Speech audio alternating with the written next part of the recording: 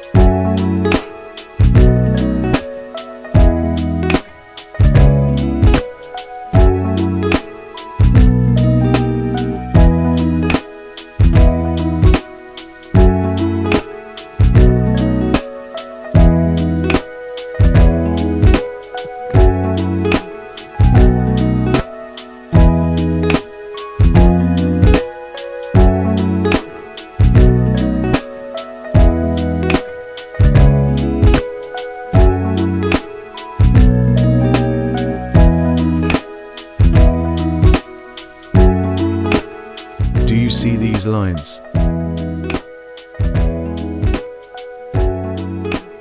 Well, as you can see, these pieces of paper are cut up with scissors.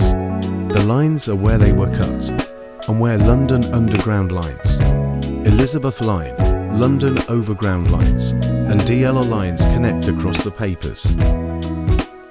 You need to know how the river goes as well as the lines.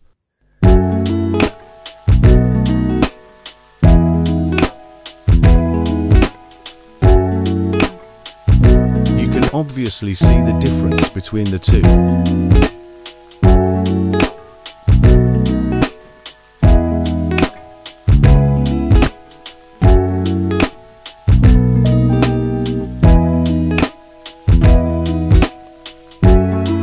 Do you remember the London train facts video I made?